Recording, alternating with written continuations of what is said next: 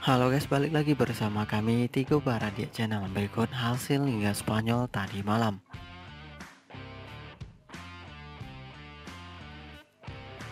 Dan berikut informasinya. Barcelona bermain 2-1 melawan Athletic Bilbao.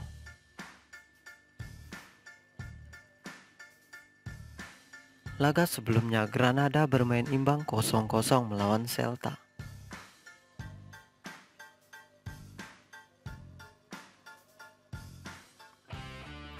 Cadiz bermain 2-4 melawan Atletico.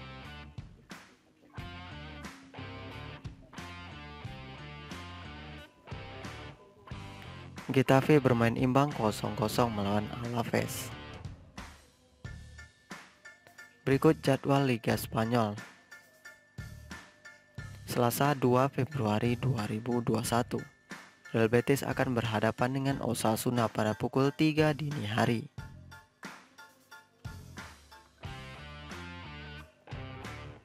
Berikut klasemen sementara Liga Spanyol hari ini.